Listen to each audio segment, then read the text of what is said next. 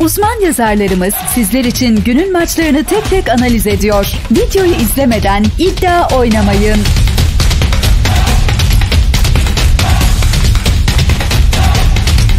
İspanya La Liga'da, ligin zayıf ekiplerinden Celta Vigo ile lige çok iyi bir giriş yapan liginde ve ekiplerinden Atletico Madrid karşı karşıya geliyor. Ev sahibi Celta Vigo, deplasman ekibi Atletico Madrid'i ağırlıyor. Ev sahibi Celta Vigo şu ana kadar hiç iyi bir oyun oynamadı ve güven vermiyor.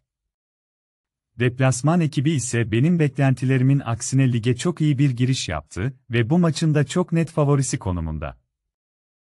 Ben deplasman ekibi Atletico Madrid'in yüksek orandan denenmesi gerektiğini düşünüyorum. Tahmin MS2 oran 1.87.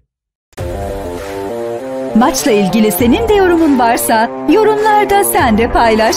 Videomuzu beğenip kanalımıza abone olmayı unutmayınız.